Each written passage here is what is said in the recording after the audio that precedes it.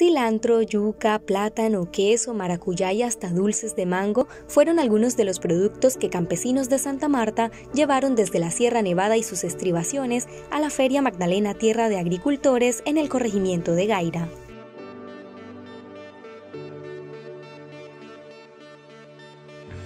Tremendo, chévere, elegante. Llevo una panela, llevo una miel de abeja, me parece bueno, porque todo se encuentra a la mano, ¿no? Y, a buen precio. Por lo menos esa miel de abeja es efectiva, es buena. El café también está bueno, excelente. Que hagan más seguidas esta feria para que de pronto los habitantes de aquí de Gaira pues nos podamos rebuscar un poquito más con la, con la compra, con el mercado de la casa.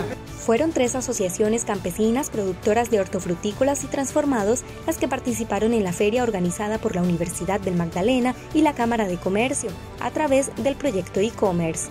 Queda un voto de agradecimiento por permitirnos visibilizarnos, de verdad que sí, porque somos organizaciones escondidas donde casi nadie llega, donde casi nadie nos conoce y que estos espacios nos permiten impulsar más nuestro producto y no solo eso, impulsar unas historias.